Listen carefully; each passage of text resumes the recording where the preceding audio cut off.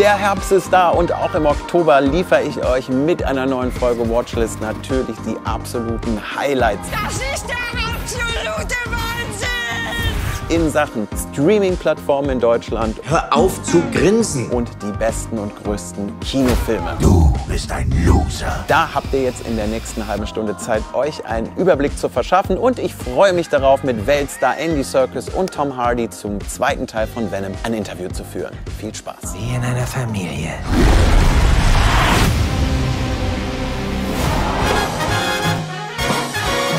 Schön, dass ihr wieder dabei seid bei einer neuen Folge Watchlist und ich sage es ja jeden Monat, aber ich werde auch nicht müde es zu sagen, ich habe euch für diesen Monat, nämlich für den Oktober, wieder richtig viel schöne Sachen rausgesucht, die ihr auf diversen Streaming-Plattformen oder auch im Kino euch anschauen könnt.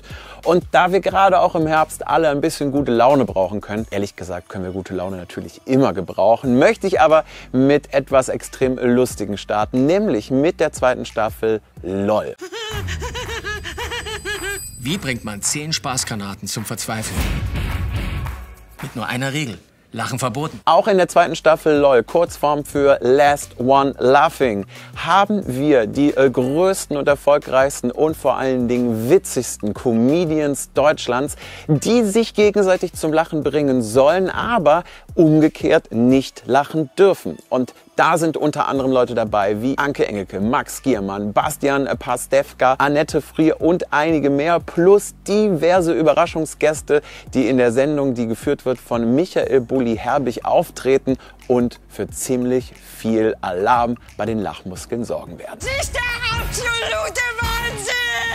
Die erste Staffel LOL war so eine der größten Überraschungen, die wir in diesem Jahr im deutschen Streamingmarkt hatten. Und äh, deswegen wurde auch ganz schnell eine zweite Staffel hinterhergejagt. Und ich kann direkt da schon mal zur Vorfreude für das nächste Jahr ankündigen. Man ist ziemlich motiviert, dass auch diese Staffel gut ankommen wird und hat bereits eine dritte Staffel bestätigt. Jetzt ist aber die Frage, ist das wirklich übermäßiges Selbstbewusstsein oder kann man sich die zweite Staffel auch genauso gut wieder anschauen? Und die Antwort ist ganz klar, auch die zweite Staffel von LOL ist wahnsinnig witzig. Das ist eine der äh, besten Comedy-Formate der letzten Jahre, funktioniert auf der ganzen Welt und so eben auch äh, bei uns. Und wenn man so gerade so diese zwischenmenschlichen Kleinigkeiten sieht, äh, da das natürlich alles Comedians sind, die schon ganz oft miteinander zusammengearbeitet haben, die befreundet sind, dann ist das immer für mich so, äh, so diese kleine Highlight-Situation. Wenn man merkt, so ja, Anke Engelke und Bastian Pastewka, Frier, die kennen sich sehr gut. Äh, da weiß man eben auch, was kann man mit demjenigen machen, dass derjenige vielleicht lachen kann oder es zumindest schwer hat. Aber auch darüber hinaus, auch ein Klaas Häufer Umlauf, der es wirklich schwer hat. Oder eine Tanni, eine Martina Hill, ähm, zu sehen, dass sie sich selber kaum zurückhalten können oder damit zu kämpfen haben, nicht zu lachen, ist das äh, für mich einfach äh, absolut Comedy Gold. Der Oktober wird äh, ziemlich spaßig und äh, ich wünsche euch mit dieser lustigen Sendung, die jeweils pro Folge auch nur 30 Minuten geht, kann man wunderbar mal zwischendurch für so einen gute Laune Kick einschieben. Die müsst ihr gesehen haben, also viel Spaß damit. Last One Laughing, die neue Staffel. Ab 1. Oktober nur bei Amazon Prime Video. Von absolut guter Laune kommt äh, jetzt ein Film, der auch definitiv die Lachmuskeln strapazieren wird, der wiederum aber auch sehr viel inhaltlich zu bieten hat. Nichts gegen lustige Comedians in einem Raum, die nicht lachen wollen, aber der Film äh, Contra mit äh, Nilam Farouk und Christoph Maria Herbst in der Hauptrolle geht eben nochmal gesellschaftlich ordentlich viel tiefer und ähm, bringt ein Thema, nämlich das äh, Thema des Rassismus und Alltagsrassismus in Deutschland auf sehr unterhaltsame Art und Weise auf den Punkt. Das Ganze inszeniert von Starregisseur Sönke Wortmann. In seiner Vorlesung hat Professor Richard Pohl die Jurastudentin Naima rassistisch und sexistisch diskriminiert. Sie sind zu spät. In meinem Kulturkreis bedeutet Pünktlichkeit noch etwas. Nun gut. Entschuldigung. Ist das ein Befehl? Ich entschuldige mich. Man kann sich nicht selbst entschuldigen, Sie können nur darum bitten. Wissen Sie das nicht? Es ist nicht der erste Zwischenfall dieser Art und noch dazu wurde Pohl bei seinen Entgleisungen gefilmt und das Video ins Internet gestellt. Der Druck auf die Johann Wolfgang Goethe Universität in Frankfurt wächst und Pohl erhält von Universitätspräsident Alexander Lambrecht eine letzte Chance. Er soll Naima bei einem wichtigen Debattierwettstreit als Mentor zur Seite stehen. So könnte der Professor seine Chancen vor dem Disziplinarausschuss verbessern und noch einmal um seine Entlassung herumkommen. Der Dozent und die Studentin könnten unterschiedlicher nicht sein, dennoch wachsen sie zu einem starken Team zusammen. Wissen Sie was? Ich mag sie nicht. Sagen Sie nicht, ich mag Sie nicht. Das hat keine Schlagkraft. Sagen Sie, Sie haben nichts an sich, was man mögen könnte. Ich habe bereits die Wichtigkeit des Themas angesprochen, aber eben möchte auch an dieser Stelle noch einmal betonen, dass es sich hier um einen Unterhaltungsfilm handelt. Und das ist etwas, was ich immer besonders schätze, wenn man eine unglaublich kurzweilige Geschichte erzählt, man aber eben eine Ebene tiefer doch noch etwas äh, zu sagen hat. Also wer jetzt irgendwie das Gefühl hat, oh, ich brauche jetzt kein großes Sozialdrama, denn dieses Thema ist glücklicherweise äh, immer wieder präsent in der Medienwelt, weil man genau dieses Thema jetzt öfters auch mal behandelt und auch mal ins Auge blickt, dass wir da Probleme haben. Da kann ich direkt abwinken und sagen, ihr müsst euch keine Sorgen machen. Es ist eine vor allen Dingen auf Dialogwitz ausgelegte Komödie. Und wie hier Nilam Farouk und Christoph Maria Herbst miteinander spielen, ist richtig starkes deutsches Kino. Da stehe ich nun, ich armer Tor. Lauter! Wollen Sie irgendwie lustig sein? Ja, Dann lassen Sie das in Zukunft. ich will aber nicht ohne Humor.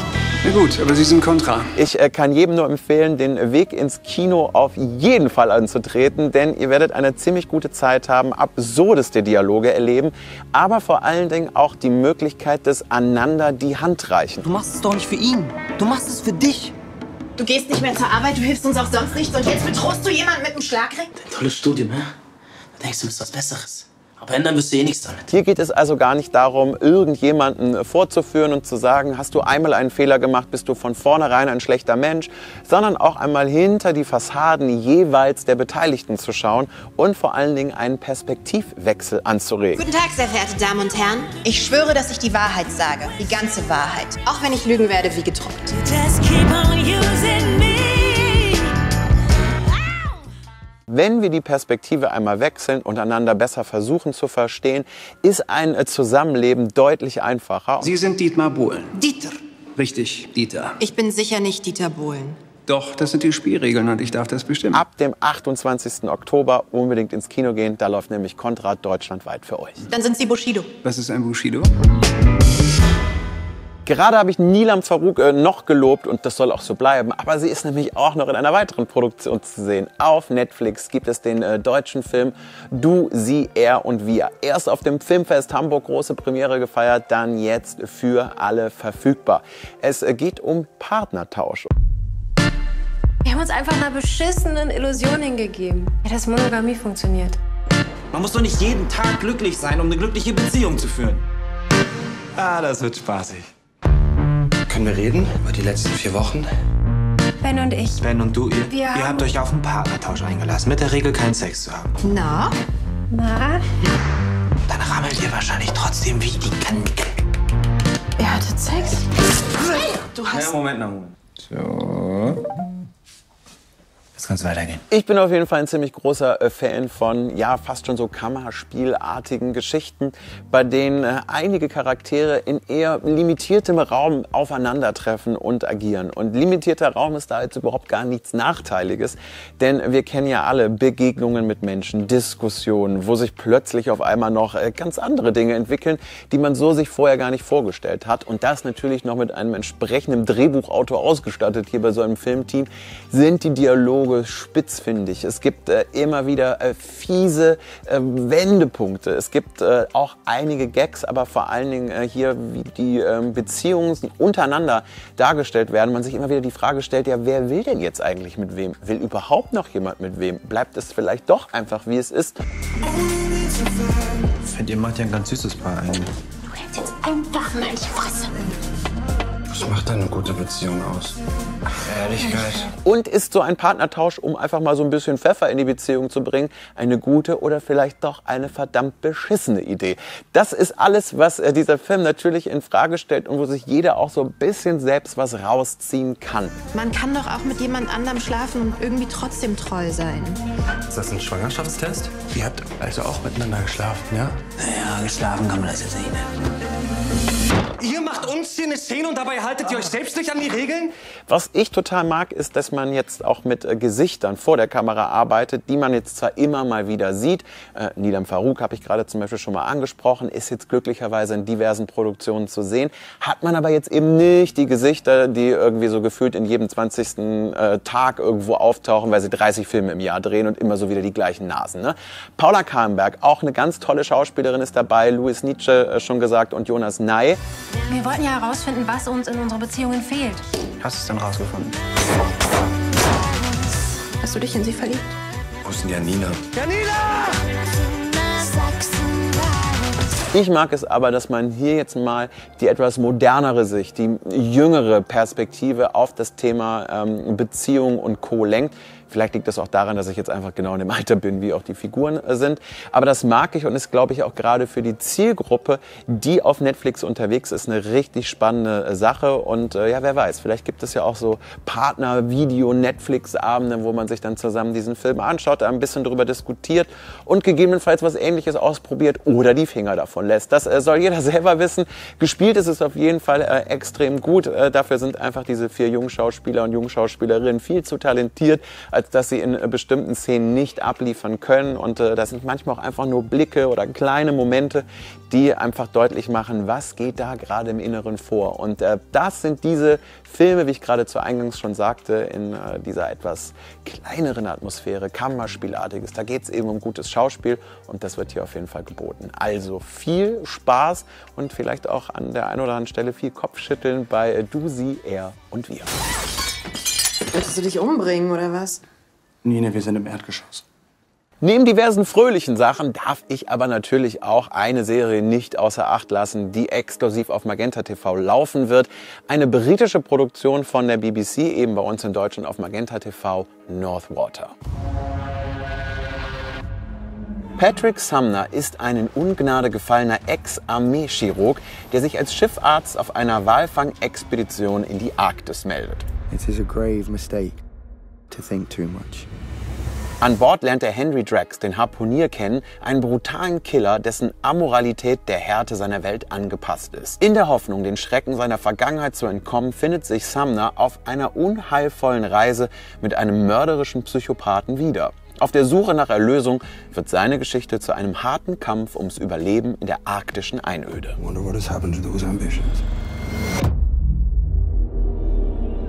No man has ever caught a whale this far north before.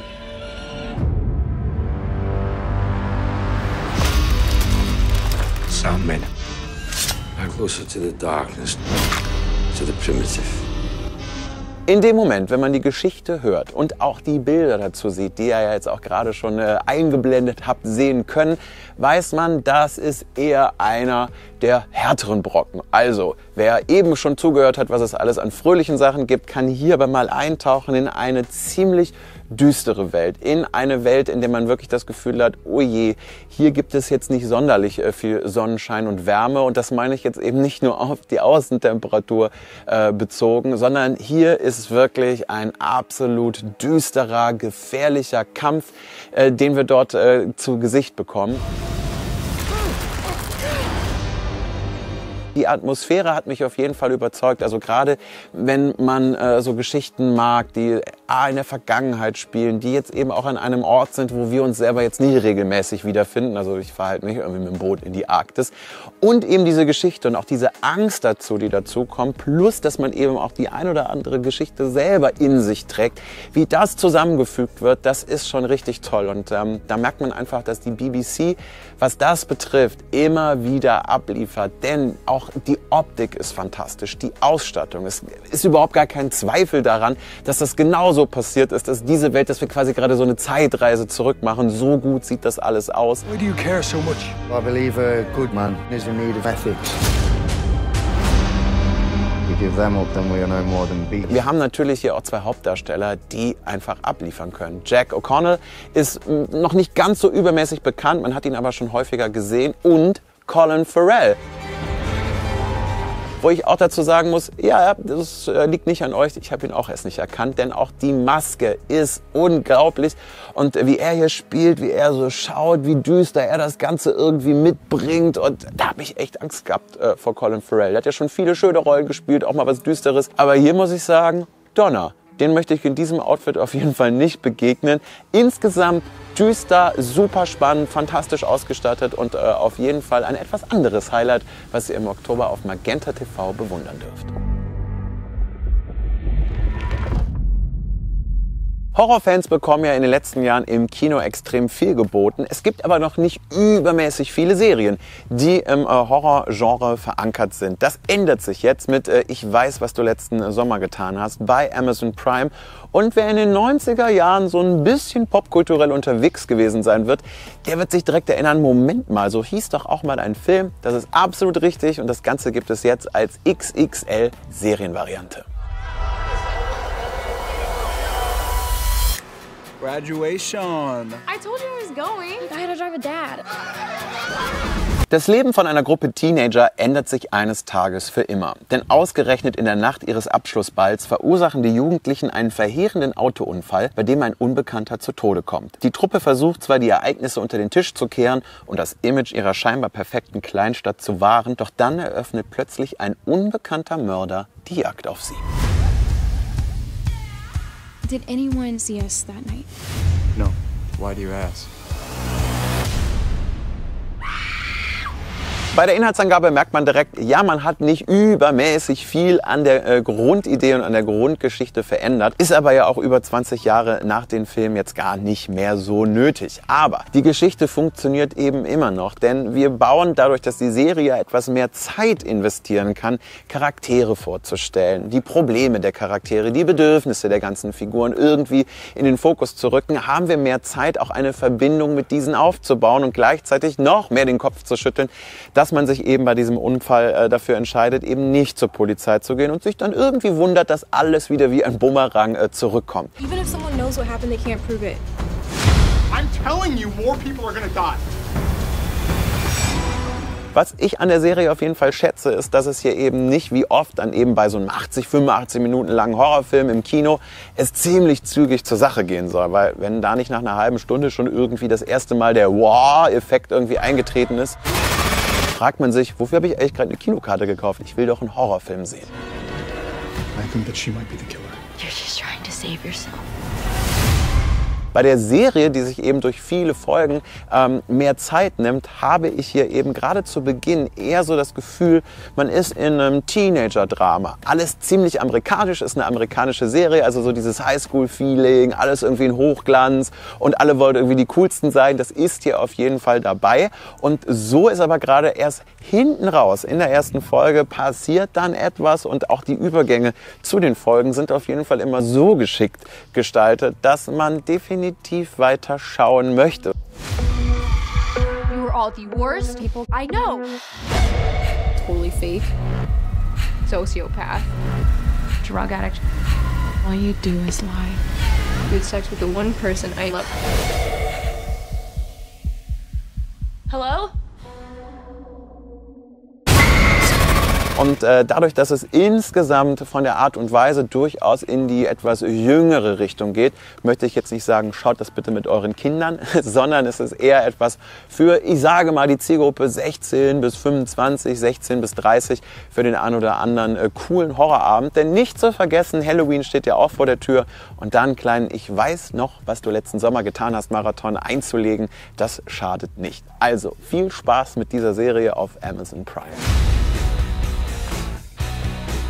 Vor drei Jahren war der Film Venom eine der großen Überraschungen an der Kinokasse. Es geht hier eben nicht um den Superhelden, sondern um einen Antihelden, der verkörpert wird von Tom Hardy, der ja auf einmal ein etwas düsteres Wesen in sich trägt und somit ja fast schon schizophren auftritt. Jetzt gibt es den zweiten Teil und äh, der soll nicht minder spektakulär werden. Eddie, wir sollten da draußen sein und böse Typen verschlingen. Ich bin ein Raubtier. Ich muss frei sein. Du musst deine Aggressionen in den Griff kriegen. Oder wir finden uns in der Area 51 wieder. Eddie Brock lebt nun schon seit einiger Zeit mit dem außerirdischen Parasiten Venom in seinem Körper und die beiden haben sich mehr oder weniger miteinander arrangiert. Allerdings will Venom am liebsten den ganzen Tag Bösewichte verhauen und seinen gewaltigen Hunger stillen, während Eddie darum kämpft, seine Karriere als Journalist wieder in Gang zu bringen.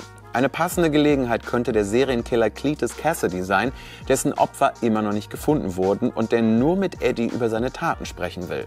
Als Cletus dann hingerichtet werden soll, überlebt er, weil er sich ebenfalls mit einem Parasiten verbunden hat. Als Carnage sorgt er fortan für ein wahres Gemetzel, wobei ihm Francis Barrison alias Shriek hilft, die über Schallsuperkräfte verfügt. Eddie und Venom haben also einiges zu tun. Das Einzige, was ich je auf dieser Welt wollte, ist ein Gemetzel.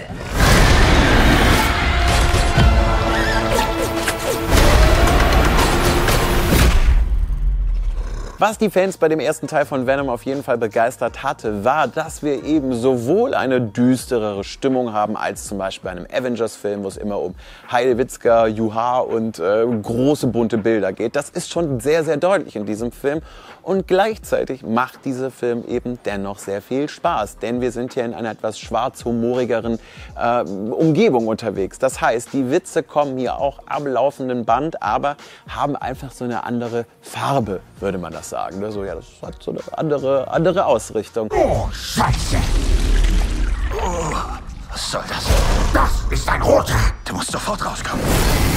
Dann erlaube ich dir alle zu fressen. Versprochen? Versprochen. Oh, ja!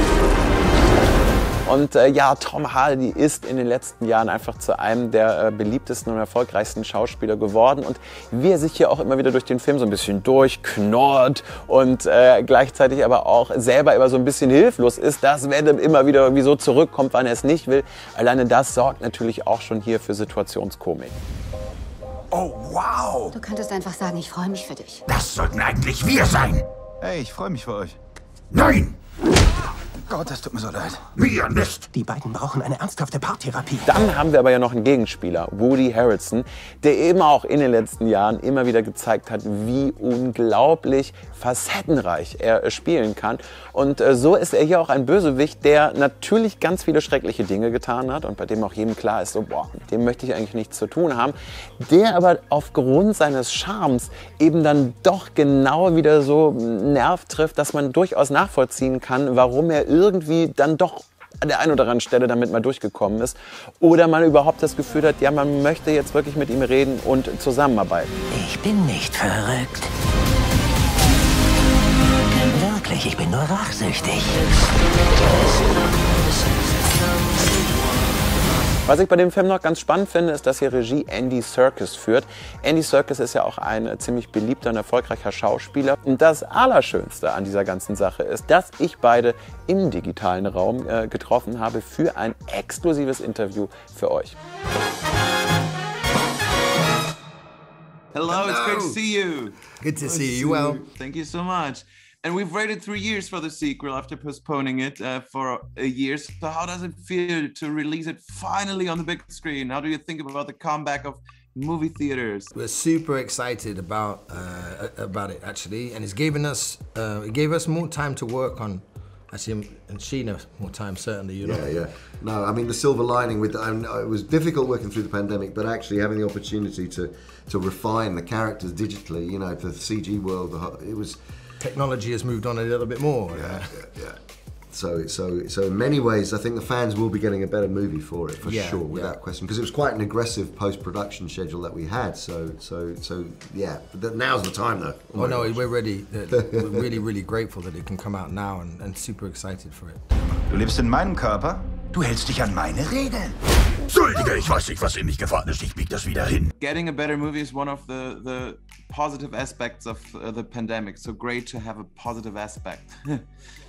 Tom, and you uh, also did lots of the writing uh, for the movie, so you had a lot of inspirations and imaginations about the story and development of the characters. But the work of a uh, director is to bringing um, this vision to life. So, how many discussions did you have finding the right way between each other, and how can we imagine the work uh, together with Andy on set?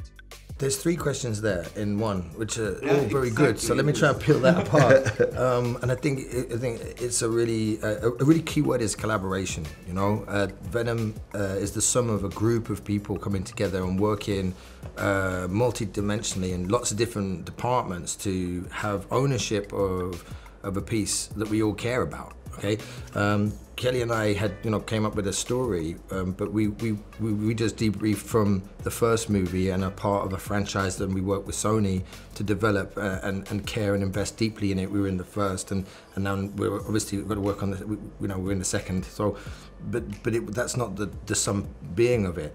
We wanted to work with people that we care about, you know, creatively that also care about and are invested in the work as as, as team, you know. So everything was in, entirely collaborative. We had to lay down a structure, but you know, th- but th- that was always we're always working on it. So Andy, you can confirm that?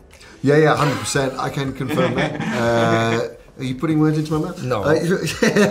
No, we were just talking about team before. No, oh, 100%. No, totally. I can totally confirm that. It was, um, you know, and the great thing is it's an iterative process uh, between lots of people. So, so you know, we'd come up with ideas, say, for production design with with, with Ol- Ol- Oliver Scholl, who, who uh, you know, would present ideas, and then we- we'd all look at them, and, and, and everyone would have an opinion. And it's, for instance, how Ravencroft was going to look. You know, it could have been a hundred different things. We all had different ideas of how that was going to look.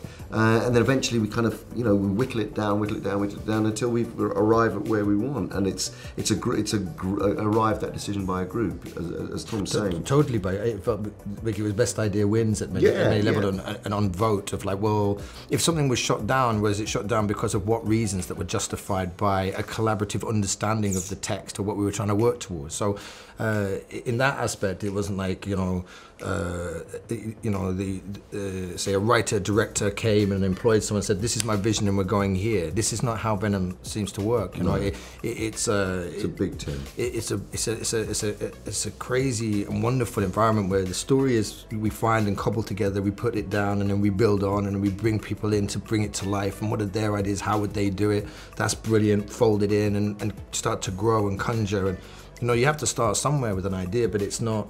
It's found, uh, but with the, a noble intention to do the best we possibly can with, with the, you know, with- with the piece, if that makes sense. Because based on what we think would work to what we hope will work.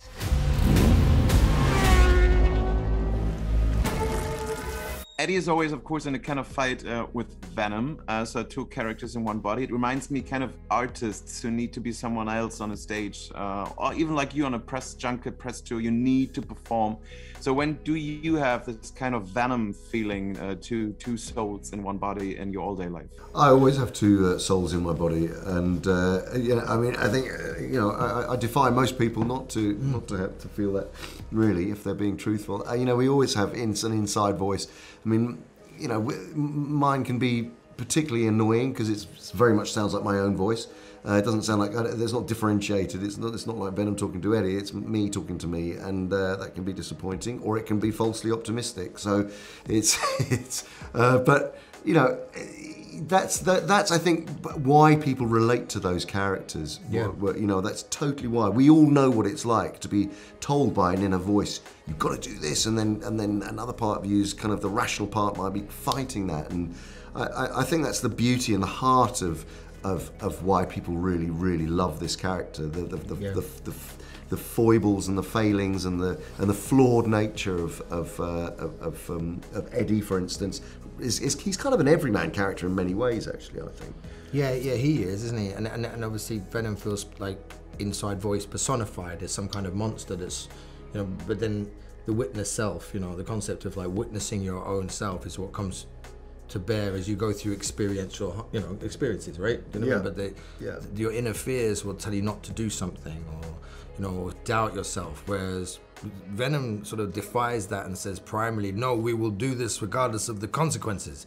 And the rationale part of Eddie is like fear, insecurity, cowardice, healthy cowardice. You know, the, I think this is a really bad idea, and there's the, and, and and yet Venom goes and does it anyway, and, and Eddie has to deal with it, or maybe it grows him. The pain Yeah. grows him. The, he's happy to take the credit as well. So there's the vanity and the narcissism of the, the paradox of the human condition. The two of them are very relatable to the interior design. I think certainly of my experience of you know, just trying to process growing up uh, and going, oh gosh, I think in so many different ways, and but which is the right way to do. And I think Eddie and Venom kind of are that. That's their, their the comic personification of that, and then they go out and have adventures. And I think, like you're right, I think that that's probably a, a consciously or unconsciously a really big draw for them. Thank you so much, and it's great to have you back on the big screen. Ich sage es ja am Ende immer wieder und immer wieder gerne, das war doch vielseitig, da war doch für jeden was dabei. Von absoluter Comedy zu etwas düstereren Geschichten, Horror und eben einem Comic, Action, Humor, Comedy-Mix. Und äh, wer jetzt noch einmal eine Übersicht braucht, was hast du eigentlich heute alles vorgestellt, Dominik, und wo finde ich das, wann, dann äh, schaut doch einfach auf die bereits eingeblendete Tafel, dort findet ihr eine Übersicht. Und ich kann euch jetzt schon versprechen, dass ich auch im November ganz viele tolle Sachen für euch auf die Watchlist packen kann. Erst einmal jetzt aber all das schauen und dann sehen wir uns im November wieder. Macht's gut, bis bald, passt auf euch auf und ciao.